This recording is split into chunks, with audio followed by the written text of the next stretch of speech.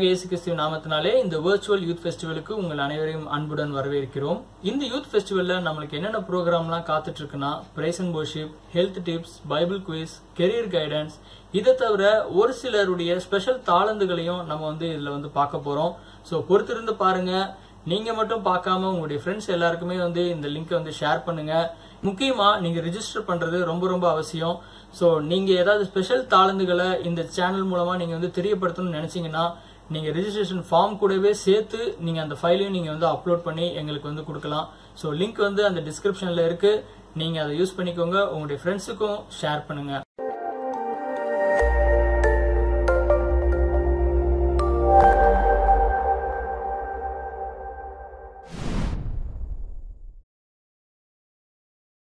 இயேசுவே உமக்கு நாங்கள் நன்றி செலுத்துகிறோம் ஆண்டவரே. இம்மட்டும் எங்களை நடத்தி வந்தவங்க தயவுக்காக நன்றி செலுத்துகிற ஆண்டுகிறேன் ஒவ்வொரு நாளும் அதிசயமாக போஷித்தீரே. நான் தலை குனிந்த இடங்களில் எல்லாம் உயர்த்தினீரே. ஒவ்வொரு நாளும் அதிசயமாக போஷித்தீரே. நான் தலை குனிந்த இடங்களில் எல்லாம் உயர்த்தினீரே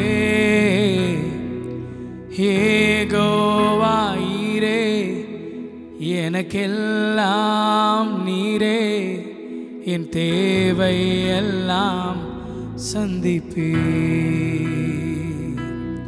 பாட்டை நம்ம பாடி ஆண்டுடைய நாமத்தை மகிமைப்படுத்துவோம். நம்ம நடத்தி வந்த தேவனுக்கு மகிமையை செலுத்துவோம்.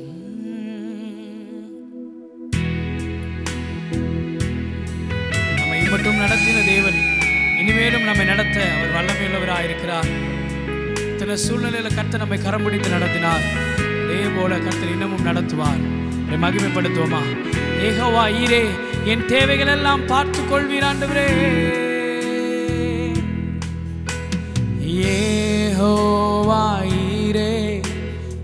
எல்லாம் நீரே. என் தேவை எல்லாம் சந்திப்பீ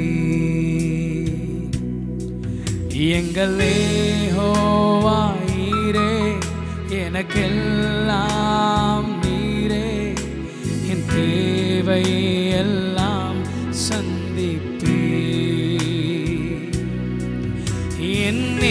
எதிர்பார்ப்புக்கு மேலாக செய்பவரே.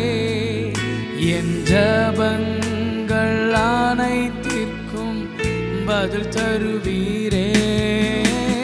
எதிர்பார்ப்புக்கு மேலாக செய்பவரே. என் ஜபங்கள் அனைத்திற்கும் பதில் தருவீர்.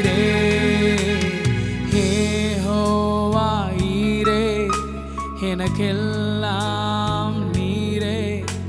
என் தேவை எல்லாம் சந்திப்பீ அமேன் அன்றைக்கு ஆபரகாமோடு கூட இருந்து நடத்தின தேவன் இன்றைக்கு எங்களோடு கூட இருந்து நீங்க நடத்துவதற்காக உமக்கு நாங்கள் நன்றி செலுத்துகிறோம் ஆண்டு வரேன்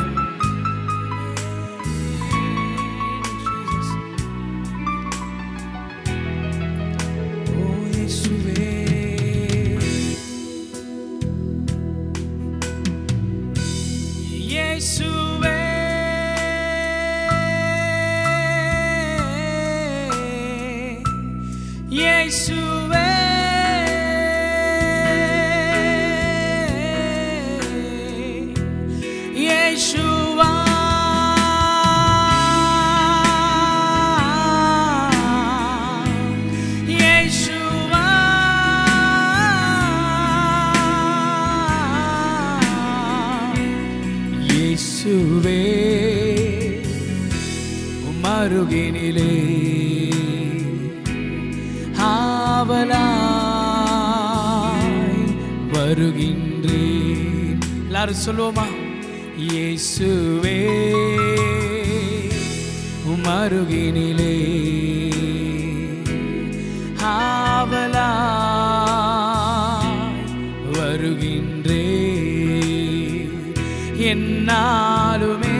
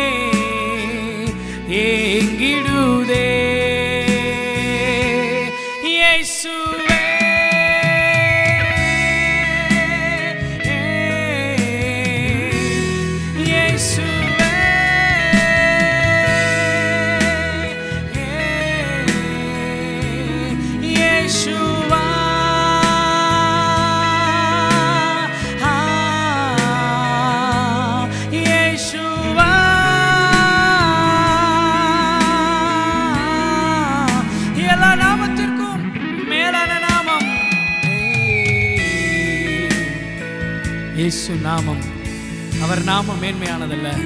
அப்படி நாமத்தை சொல்லி நம்ம உயர்த்துவோமா? இயேசு நாமம் இயேசு நாமம். இயேசு நாமம் இயேசு நாமம். இயேசு நாமம் இயேசு நாமம். வாழ்கவே. சொல்லுவோமா? எல்லா நாமத்திற்கும் மேலான நாமத்தை உடையவரே. உம்மை நோக்கி நாங்கள் பார்க்கிறோம் ஆண்டவரே. என் நாமத்தினால எதை கேட்டாலும் அதை நான் உங்களுக்கு செய்வேன்னு சொன்ன தேவன். உடைய நாமத்தினால கேட்கிற எங்களுக்கு காரியங்களை வாய்க்க செய்வதற்காக நன்றி செலுத்துகிறோம்ப்பா சொல்லுவோம் அப்படியே கைகளை உயர்த்தி. இயேசு நாமம் மேசு நாமம். இயேசு நாமம் மேசு நாமம். இயேசு நாமம் மேசு நாமம். வாழ்கவே. இயேசு இயேசு நாமம் இயேசு நாமம் இயேசு வாழ்கவே. அவர் நாமமே மதுரமதே அவர் நாமத்தில் சுகமுண்டே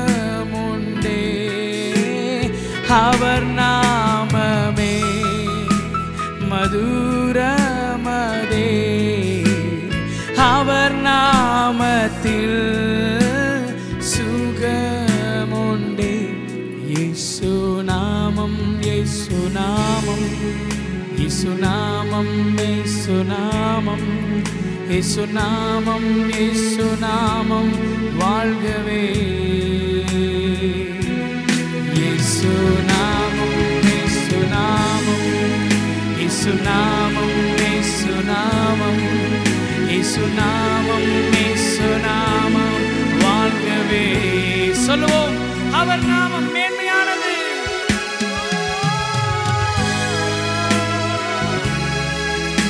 நாமம் மேன்மையானது அல்லவப்பா உடைய நாமத்துக்கு நாங்கள் மகிமையை செலுத்துகிறோம் ஆண்டவரே. இயேசு நாமம் இயேசு நாமம் இயேசு நாமம் இயேசு நாமம் இயேசு நாமம் இயேசு நாமம். வாழ்கவே.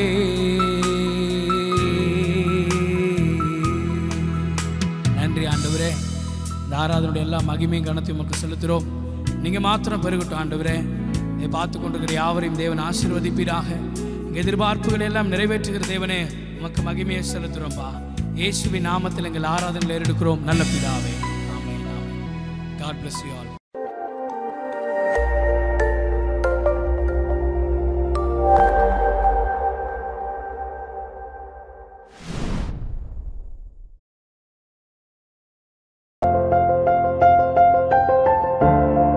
Jeevan TV நேர்களே இயேசு கிறிஸ்து நாமத்தினால உங்களை அன்புடன் வாழ்த்து வரவேற்கிற இந்த நாளிலும் கூட இந்த யூத் ஃபெஸ்டிவலுக்கு இயேசு கிறிஸ்து நாமத்தினால கலந்து கொள்கிற ஒவ்வொரு வாலிபர்களையும் இதை பார்த்து கொண்டிருக்கிற ஒவ்வொரு பெரியவர்களையும் எல்லாரும் இயேசு கிறிஸ்து நாமத்தினால உங்களை ஆசீர்வதிக்கிறேன். இந்த நாளை கூட உங்களை சந்திக்கிறதுல ரொம்ப மகிழ்ச்சியா இருக்கிறேன். இத்தனை நாளும் நீங்க சோர்ந்து இருந்தீங்கன்னா நிச்சயமாக இந்த வார்த்தையை கேட்ட பின்பு உங்களுக்குள்ள இருக்கிற அந்த வெற்றி உங்களுக்குள்ள இருக்கிற அந்த முயற்சி உங்களுக்குள்ள இருக்கிற அந்த திறமை எல்லாவற்றையும் நீங்க வெளிக்கொண்டு வருவீங்க அப்படின்னு சொல்லி நான் விசுவாசிக்கிறேன். நிச்சயமாக உங்களுக்கு இருக்கிற அந்த திறமையை நீங்க வெளிக்கொண்டு வருவீங்க அப்படின்னு நான் நினைக்கிறேன். இன்னைக்கு அநேக பேர் என்ன நினைக்கிறோம் அப்படின்னு பாத்தீங்கன்னா என்னை காட்டிலும் அவர் அழகா இருக்கிறாரு அப்படின்னு சொல்லி நம்ம நினைத்து பார்ப்போம். நம்மளோட கண்ணாடியை பார்க்கும் பொழுது இப்படி நம்மளுக்கு ஒரு ஆணா இருந்தீங்கன்னா இப்படி தாடி இருந்தா நல்லா இருக்குமே. இப்படி மீச இருந்தா நமக்கு நல்லா இருக்குமே. இப்படி ஹேர் ஸ்டைல் வச்சிருந்தா நம்ம நல்லா இருக்குமே. இந்த சட்டை போட்டிருந்தா நமக்கு நல்லா இருக்குமே. இவ்வளவு ஹைட் இருந்தா நல்லா இருக்குமே. இல்ல இவ்வளவு குண்டா இருந்தா நல்லா இருக்குமே அப்படின்னு சொல்லி யோசிக்கிற ஆண்கள் உண்டு. இதே போல பெண்கள் லாங் ஹேர் வைக்கலாம் அப்படின்னு சொல்லி ஆசைப்படுவாங்க. இல்ல ஷார்ட் ஹேர் வைக்கணும்னு ஆசைப்படுவாங்க. இந்த மாதிரி ஜீன்ஸ் இந்த மாதிரி டிஷர்ட் போடலாம் அப்படின்னு ஆசைப்படுவாங்க.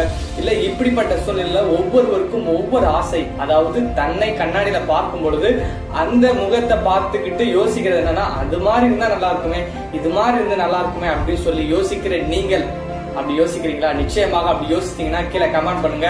அந்த மாதிரி நானும் யோசித்திருக்கிறேன். இப்போ நான் அந்த மாதிரி யோசிக்கிறது இல்ல. ஆமென் அந்த மாதிரி நீங்களும் அப்படி யோசிக்கிறீங்களா இருந்தா நிச்சயமாக நான் உங்களுக்கு ஒன்று சொல்லலாம்னு ஆசைப்படுறேன். வானத்தை பூமியை சகல ஜீவ ஜந்துக்கள் உயிரினங்கள் நீங்க பாக்குற ஒன்னொன்னும் பார்க்க முடியாத எல்லாவற்றையும் உண்டாக்குனாரு. ஆனா எல்லாவற்றையும் உண்டாக்கிட்டு ஒன்னே ஒண்ணு மட்டும் அவர் பிரத்யேகமா ஒன்று உண்டாக்குனாரு என்ன அப்படின்னு பாத்தீங்கன்னா அது நீங்களும் நானும் தான். அவருக்கு ரொம்ப பிரியமான ஒண்ணு அப்படின்னு பாத்தீங்கன்னா நீங்களும் நானும் தான். ரொம்ப பிரியம். ஏன்னா உங்களுக்கும் எனக்கும் இருக்கிற அந்த தலைமுடி இருக்கு பாத்தீங்களா அதை எண்ணி வச்சிருக்கிறார். அப்போ எப்படிப்பட்ட மனுஷனா அவர் இருப்பாருன்னு பாருங்க. அப்போ இவர் கடவுள் அப்படின்றத காட்டிலும் உங்களுக்குள்ள இருக்கிற எண்ணம் எல்லாவற்றையும் அறிந்திருக்கிற ஒருவராக அவர் இருக்கிறார். இன்னைக்கு நம்ம கடவுள்னு சொல்லி கூட நம்ம இன்னைக்கு பார்க்கல. அவர் உங்களை பாக்குற விதம் இருக்கு பாத்தீங்களா? அதுதான் பெரிய ஒரு விஷயம். என் மகனுக்குள்ள நான் இந்த திறமை வச்சிருக்கிறேன். இப்ப உங்களுக்குள்ள நல்ல ஒரு பாட்டு பாடுற ஒரு திறமை உங்களுக்கு நிச்சயமாக வைத்துக்கலாம் இல்ல உங்களுக்குள்ள நல்ல கவிதை எழுதுகிற ஒரு திறமை உங்களுக்குள்ள வச்சிருக்கலாம். இல்ல நல்ல ஒரு நடனம் ஆடக்கூடிய ஒரு திறமை வச்சிருக்கலாம். இப்படி எல்லா திறமைகளும் ஒரு ஒரு திறமை உங்களுக்குள்ள ஒளிந்திருக்கும். நிச்சயமாக அதை நீங்க வெளிக்கொண்டு வாங்க. அதை கொண்டு நீங்க அநேகருக்கு முன்பதாக ஒரு பிரகாசிக்கிற ஒரு வெளிச்சத்தை போல நீங்க நிற்க போகிறீங்க. அதை அநேகர் கண்டு அதை பார்த்து எப்படி இருப்பாங்க பாத்தீங்கன்னா என்னடா இவனா இப்படி வந்துட்டான் அப்படின்னு சொல்லி ஒரு கலங்க வைக்க போகிற ஒரு மனுஷனாக மனுஷியாக நீங்க எழுப்பி பிரகாசிக்க போறீங்க. ஏசியால நம்ம வாசிக்கிறது போல. அப்போ இப்படிப்பட்ட கடவுள் உங்களை உண்டாக்கி இருக்கிறாரு என் மகன் என்னெல்லாம் செய்வான் அப்படின்னு சொல்லி அவர் ஒரு திட்டம் வச்சிருக்கிறாரு. அந்த திட்டத்தை நிறைவேற்ற நீங்க என்ன பண்ணணும்? ஒத்துழைக்க வேண்டும். அவருக்கு கீழ்ப்படிய வேண்டும். அவரை நீங்க மறந்து நீங்க உலகத்தின் வாழ்க்கையில நீங்க ஓடிக்கொண்டிருந்தீங்கன்னா நிச்சயமாக நான் உங்களுக்கு சொல்றேன். நீங்க அதெல்லாம் விட்டுட்டு நீங்க வெளியே வாங்கல பெரிய லைஃப் ஒன்று இருக்கு. அது அவரோடு கூட இருக்கிற அந்த நேசிக்கிற அவர் நம்மளோட அவர் நேசிக்கிற அந்த அன்பு அந்த ரிலேஷன்ஷிப்ல நீங்க வந்தீங்க அப்படின்னா நிச்சயமாக உங்களுக்கு ஆசீர்வாதமா இருக்கும் அப்படின்னு நான் நினைக்கிறேன். அப்போ இந்த நாட்களில் கூட இந்த ஜீவன் டிவி தொலைக்காட்சி மூலமாக நீங்கள் என்னோட கூட இருந்து நீங்க பார்த்து கொண்டு இருக்கிறீங்க அதனால கூட நான் என்னுடைய வாழ்க்கையில ஒரு சாதாரண ஒரு மனுஷனா ஒரு சின்ன ஒரு குடும்பத்துல நானும் இப்படிதான் இருந்தேன். ஆனா என்னை தேவன் இப்ப எடுத்து பயன்படுத்திட்டு இருக்காரு. உங்க மூலமா உங்களுக்கு முன்னாடி நான் பேசுறதுக்கு தேவன் என்னை வைத்திருக்கிறார். அப்போ இப்படிப்பட்ட சூழல்ல நிச்சயமாக நாளைக்கு உங்களை கொண்டு பெரிய காரியங்களை அவர் செய்வாராம் உங்களுக்கு இருக்கிற அந்த திட்டத்தை பாத்தீங்கன்னா பெரிய திட்டமா இருக்கும். அது தேவன் வச்சிருக்கிறாரு. ஆனா இந்த திட்டத்துக்கு நீங்க என்ன பண்ணணும்? கீழ்ப்படிய வேண்டும். ஆதாம ஏவாளி உண்டாக்குனாரு. உண்டாக்கும் பொழுது தேவ சாயலாக உண்டாக்குனாரு. அந்த தேவ சாயலா உண்டாக்கும் பொழுது அவங்க கீழ்ப்படியாமனால பாவம் உண்டாச்சு. அந்த மாதிரி நீங்க இன்னைக்கு உங்களுக்கு வச்சிருக்க திட்டத்தை உங்களுக்கு வைத்திருக்கிற ஒரு தரிசனத்தை நீங்க இழந்துடாதபடிக்கு நீங்க அந்த அந்த கீழ்ப்படியாம நீங்கள் இருந்துடக்கூடாது அப்படின்றத அந்த வார்த்தை. நீங்கள் கீழ்ப்படியாம இருந்துடாதீங்க கீழ்ப்படிங்க. தேவன் உங்களை கொண்டு பெரிய காரியங்களை அவர் செய்ய வல்லவரா இருக்கிறாரு.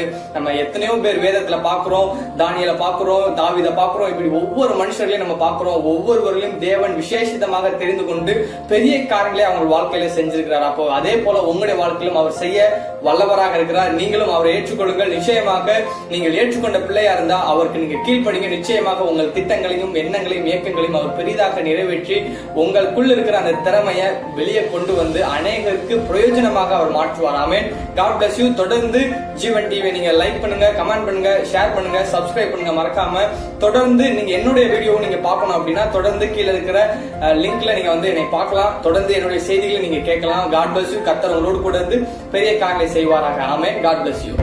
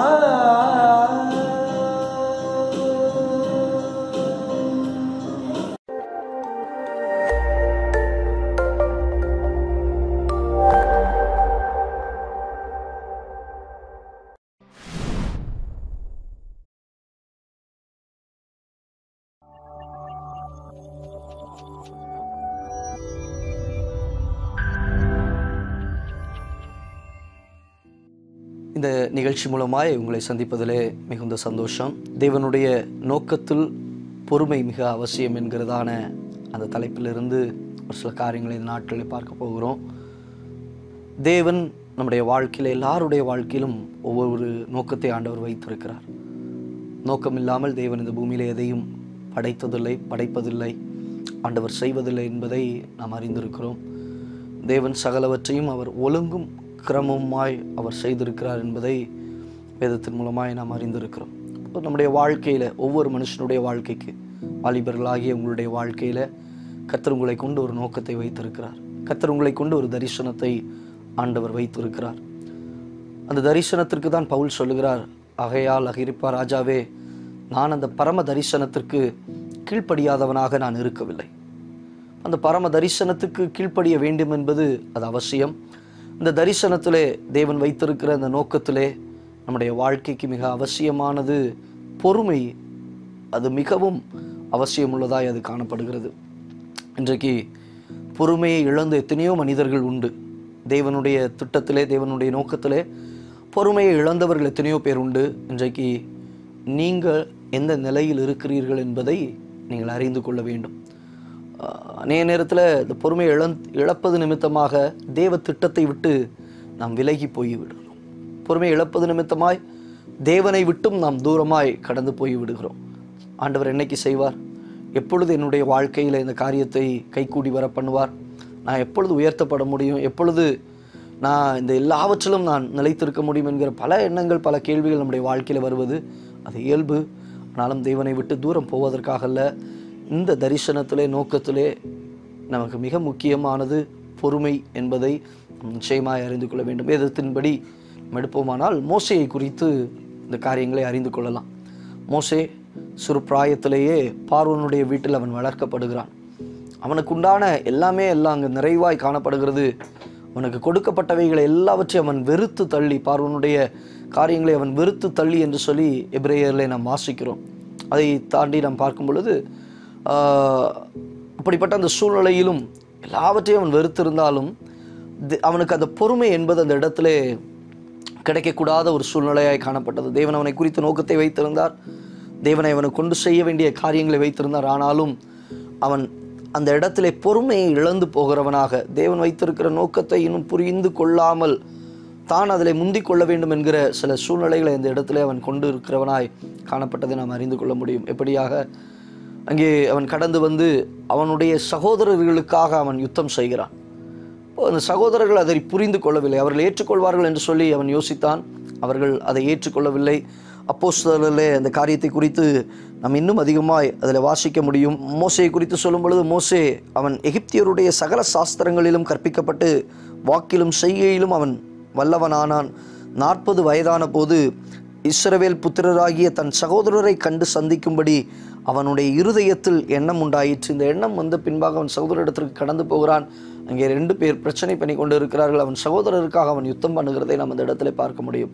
தேவன் அவனை கொண்டு வைத்திருந்த திட்டம் என்ன? முழு ஜனங்களையும் கத்தருக்காக ஆராதனை செய்யும்படியாக விடுவிக்க வேண்டும் என்பதே தேவனுடைய திட்டம். இஸ்ரவேல் ஜனங்களை விடுவிக்க வேண்டும் என்பதே தேவனுடைய திட்டம். ஆனால் இவனுடைய குறுகிய மனப்பான்மை பொறுமையின் இழப்பு அந்த இடத்துல தேவ திட்டத்தை அவனுடைய வாழ்க்கையை விட்டு விலக்கி கொண்டு செல்கிறதாய் காணப்பட்டது. அங்கிருந்து அவன் துரத்தப்படுகிறதை நாம் அறிந்திருக்கிறோம். நாற்பது வருடம் வனாந்திரத்தின் வாழ்க்கை. இன்றைக்கு உன் வாழ்க்கையில் இந்த பொறுமையை இழப்பையானால் நாற்பது வருட வனாந்தர வாழ்க்கை உன் வாழ்க்கைக்கு நேராய் கடந்து வரும். தெய்வ திட்டத்தில் பொறுமை மிகவும் அவசியம். அந்த பொறுமையை விட்டு நாம் விலகி போவோமானால் வனாந்தரத்தின் வாழ்க்கை நம்மை ஆட்கொள்ள ஆரம்பிக்க நேர் கேட்கிற கேள்வி உண்டு ஏன் எனக்கு இந்த பாடுகள் ஏன் இந்த பாதையில் நான் கடந்து செல்லுகிறேன்? ஏனென்றால் தேவ திட்டத்திலே உன் பொறுமையை நீ எங்கேயோ ஒரு இடத்துல இழந்து போயிருக்கிற. எங்கேயோ ஒரு இடத்துல இழந்து போயிருக்கிற.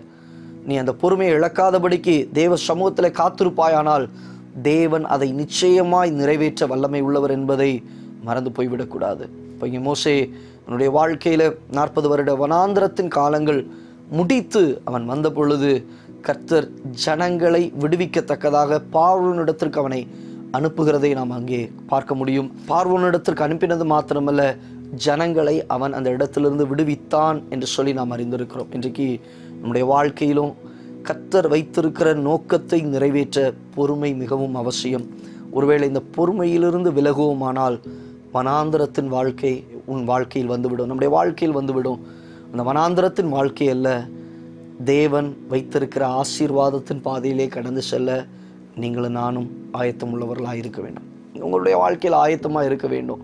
இன்னைக்கு ஏன் இந்த சூழ்நிலை என்று பார்க்கும்போது தேவனை விட்டு விலகி போனது நிமித்தமாக தேவனை விட்டு பொறுமை இழந்தது நிமித்தமாக. இப்போ அந்த பொறுமை இழப்பு நம்மை அகால பாதாளத்துக்கு நேராய் கொண்டு போகிறது. தேவனுடைய சித்தத்தை விட்டு வேறு விதமாய் நம்மை கொண்டு போகிறது. இல்லை தேவ சித்தம் என்னவோ அதை செய்வதற்கு பொறுமை மிக அவசியம். இங்கே மூசை கடைசியாக கத்திரவனை கொண்டு வந்து அந்த திட்டத்திலே ஆண்டவர் நிறுத்துகிறார். அந்த நோக்கத்துக்கு நேராய் கர்த்தர் அவனை கொண்டு செல்லுகிறார். இங்கே கொண்டு செல்லும் பொழுது அங்கே இருக்கிற ஜனங்களை பார்வனிடத்திலிருந்து அவன் விடுதலையாக்கி காணான் என்கிற தேசத்திற்கு நேராக வழி நடத்த கர்த்தர் அவனை பயன்படுத்தினதை நாம் அறிந்திருக்கிறோம். ஆனாலும் அப்படிப்பட்ட இந்த சூழ்நிலையிலே அவன் கடைசியிலே எங்கேயோ ஒரு இடத்துல பொறுமை இழந்து போகிறதான சில சூழ்நிலைகள் வருவதுண்டு. ஆனாலும் அவன் பொறுமை இழக்காதபடிக்கு கர்த்தர் அவனை காத்துக்கொள்ள போதுமானவராக இருந்த இன்றைக்கு உன்னுடைய வாழ்க்கையில் பொறுமையை இழந்து போய்விடாத. பொறுமையை இழந்து போய்விடாதீர்கள். தேவன் வைத்திருக்கிற நோக்கத்தை மாத்திரம் நோக்கி பார்த்த ஆண்டவரே அதில் என்னை சரியாய் நடத்துவீராக. நான் அந்த பரம தரிசனத்திற்கு கீழ்ப்படியாதவனாய் இருக்கவில்லை. அந்த பரம தரிசனம் நம்முடைய வாழ்க்கையில் இருக்க வேண்டும். அந்த பரம தரிசனம் நம்முடைய வாழ்க்கையில் சரியாக இருக்குமானால் தேவன் நம்மை பொறுமையோடு கூட நடத்த அவர் வல்லமை உள்ளவராக இருக்கிறார். பொறுமை கீழ்ப்படுதலை அது கொண்டு வரும் என்று சொல்லி வேதத்தில் வாசிக்கிறோம். நிச்சயமாய் அந்த பொறுமைக்குள்ளாக நாம் கடந்து செல்வோம் உங்களுடைய வாழ்க்கையை அர்ப்பணியுங்கள். அந்த நோக்கத்தை பிடித்து கொண்டு கடந்து செல்வதற்கு முயற்சி செய்யுங்கள். தேவன் உங்கள் வாழ்க்கையை உங்கள் எதிர்காலங்களை ஒருவேளை உங்களை கர்த்தர் ஊழியத்திற்கு என்று அழைத்திருக்கலாம். அந்த ஊழியத்தின் பாதையிலும் கர்த்தர் நடத்துவதற்கு அவர் உண்மை உள்ளவராக இருக்கிறார் thank you God bless you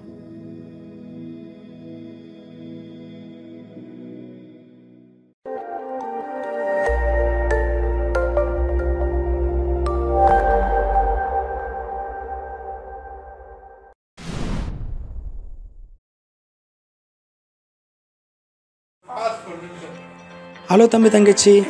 நான் உங்கள் ஜோஷ்வனா பேசுகிறேன் விர்ச்சுவல் யூத் ஃபெஸ்டிவல் டுவெண்ட்டி டுவெண்ட்டியில் உங்களை பார்க்கறது ரொம்ப சந்தோஷப்படுறேன். இன்றைக்கி எனக்கு கொடுக்கப்பட்டிருக்கிற செக்மெண்ட் பைபிள் குவிஸ் போட்டினால எல்லாருக்கும் நமக்கு பிடிக்க நான் நினைக்கிறேன். நான் நம்புகிறேன் நீங்கள் எல்லோரும் அதில் வின் பண்ணுவீங்கன்ட்டு. இன்றைக்கி பார்க்க போகிற போட்டியினுடைய தலைப்பு கிஃப்ட்ஸ் அண்ட் ஆஃபரிங் பைபிளில் நிறைய இடத்துல பரிசு பொருட்கள் வெகுமதிகள்லாம் கொடுக்கப்பட்டிருக்கிறது. அது எங்கெல்லாம் விலை உயர்ந்ததாக பேசப்பட்டது என்பதை குறித்து நம்ம பார்க்க போகிறோம் ஸோ ரெடியாக இருங்க. இதில் எல்லாரும் வின் பண்ணுவீங்க. நான் நம்புகிறேன் எல்லாரும் ஜீனியஸ்ன்றதான் எனக்கு தெரியும். ஒவ்வொரு கொஸ்டினுக்கும் பத்து பத்து செகண்டு தரப்படும். அந்த டென் செகண்டில் நீங்கள் கமெண்ட்ஸ் பாக்ஸில் போயிட்டு உங்களுடைய ஆன்சர்ஸை நீங்கள் சென்ட் பண்ணலாம். யாரெல்லாம் ஃபஸ்ட்டில் எழுதுகிறாங்களோ அவங்களுடைய பேர்லாம் நாங்கள் ஸ்டோர் பண்ணிப்போம். இது எல்லா கேள்விக்கும் யார் கரெக்ட் ஆன்சர் எழுதுகிறாங்களோ அவங்களுக்கு ப்ரைஸஸ் உண்டு. So be ready your question start now question number one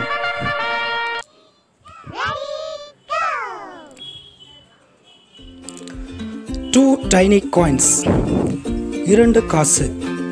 வேதத்தில் ஏசப்பாவுக்கு இந்த காசு ரொம்ப பிடிச்ச காசாக இருந்தது. அது எங்கே இருக்குன்னு சொல்லிட்டு நீங்கள் கமெண்ட் பாக்ஸில் போடுங்க. Your time starts now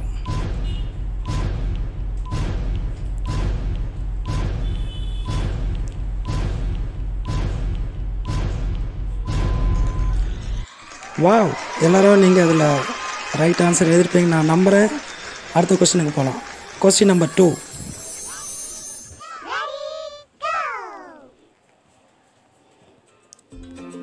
twenty silver coins இருபது வெள்ளி காசுகள். பழைய ஏற்பாட்டில் ஒருத்தரை விற்று போட்டதுனால இந்த காசு கிடச்சிது. க்ளூவும் சொல்லிட்டேன். யுவர் டைம் ஸ்டார்ட்ஸ் நான்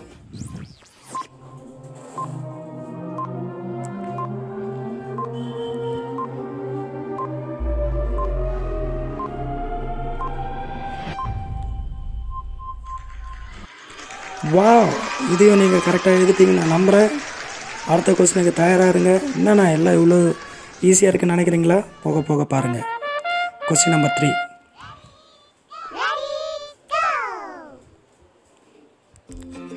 thirty silver coins முப்பது வெள்ளி காசுகள்.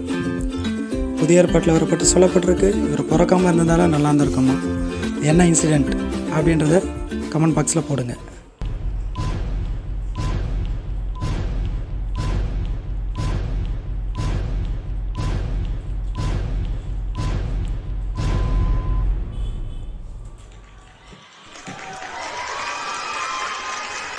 நிறைய பேர் கண்டுபிடிச்சிட்டிங்க நான் நம்புகிறேன் உங்களை நீங்களே கைத்தட்டிங்க question number four three hundred coins or pence முந்நூறு காசு. பைபிளில் இது ரொம்ப விளையாடப்பட்ட காசை சொல்லப்பட்டிருக்கு. நியூ டெஸ்ட்மெண்ட்டில் வருது. இதுக்கு ஒரு சகோதரி பேரும் பரிந்துரைக்கப்படுகிறது. யுவர் டைம் ஸ்டார்ட்ஸ் நாவ்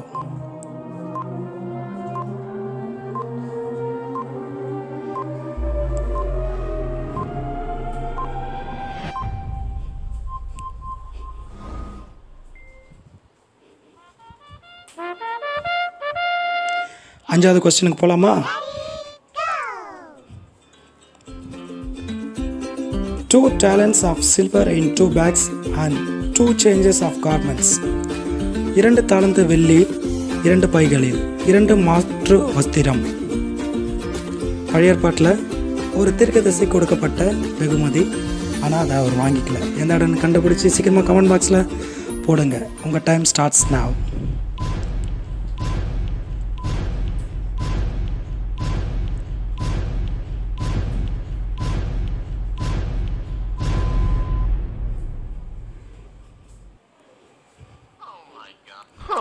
என்ன மண்டே பிச்சுட்டு போதா? அப்போ ஆறாவது கொஸ்டின் போகலாமா question number six one twenty talents gold and spices and precious stones நூற்றி இருபது தாளந்து பொன் கந்தவர்க்கும் ரத்தினங்கள். இது ஒரு ராஜாவுக்கு கொடுக்கப்பட்ட வெகுமதி. எந்த இடத்துல இருக்குன்னு கண்டுபிடிங்க பார்க்கலாம். ஓவர் டைம் ஸ்டார்ட்ஸ் நவ்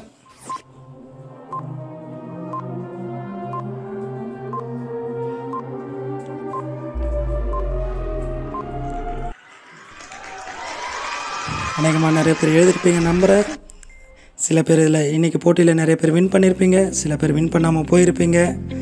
பரவாயில்ல. நாளைக்கு இதே போல் இன்ட்ரெஸ்டிங் கொஸ்டினோடு உங்களை நான் சந்திக்க போகிறேன் உங்களுடைய ஃபீட்பேக்ஸை கமெண்ட் பாக்ஸில் போடுங்க. என்ன மாதிரியான காரியங்கள் நீங்கள் கற்றுக்கிட்டேன்றத ஃபீட்பேக்ஸை நீங்கள் அதில் போடலாம். மீண்டும் உங்களை சந்திக்கிறேன்.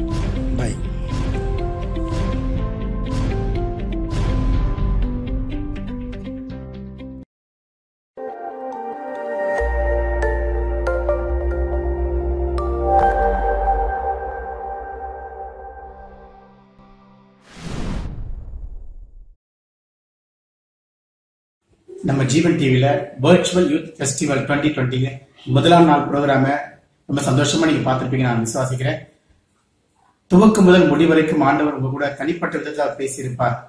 ஏன்னா துவக்கத்துல நான் ஜெபமாக இருக்கலாம் அதுல இருந்து அந்த பாடல்களாக இருக்கலாம் நடந்த ஒவ்வொரு நிகழ்ச்சிகளிலும் கர்த்தர் உங்க கூட திட்டமும் தெளிவாய் பேசியிருக்கிறார்.